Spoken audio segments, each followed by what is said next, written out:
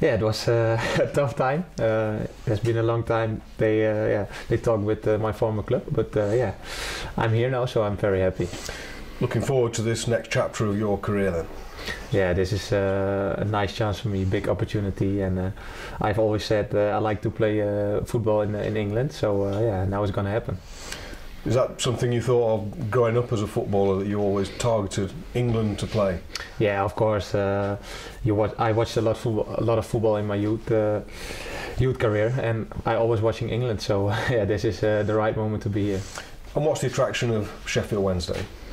Yeah, I uh, I read a lot about it la- last weeks, and uh, I saw something on Instagram, on internet, and I tried to follow the games, but it was really difficult in Holland. But uh, yeah, it's a, it's a great club. It's a big club. Yesterday I was here. I was uh, watching the stadium, so uh, yeah, the feelings are great.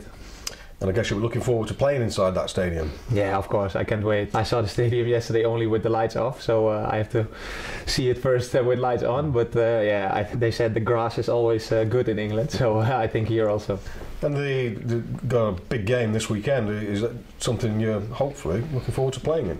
Of course, I hope uh, as soon as possible to play, but I don't know what the coach want. Uh, I didn't train yet, so uh, yeah, I have to wait for that. Is the, does the fact that the coach is Dutch had play any part in your move to Wednesday?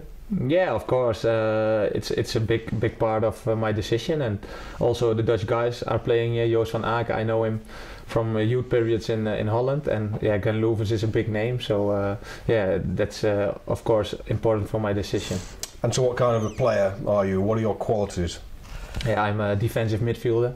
Uh, I'm strong. I'm fast, and yeah, I love to, to catch balls and make tackles, and uh, and I can also play uh, play really good football forward. So uh, yeah, that are my qualities. So that, they're the kind of abilities you're going to bring to a side that's obviously got big ambitions in the long term, and you want to be part of that. Yeah, of course, of course. Uh, I read something about it that uh, the club was, yeah, I think two years ago, uh, almost in Premier League. So uh, yeah, it will be great if it's uh, happened like this. And as a player, when you look at a club like Sheffield Wednesday, you've come from the Dutch top flight. What do you think it's going to take to get Sheffield Wednesday in English top flight? Um, yeah, uh, it's difficult to say. I don't know. Uh, yeah, of course I know this competition, and of course I know the Premier League.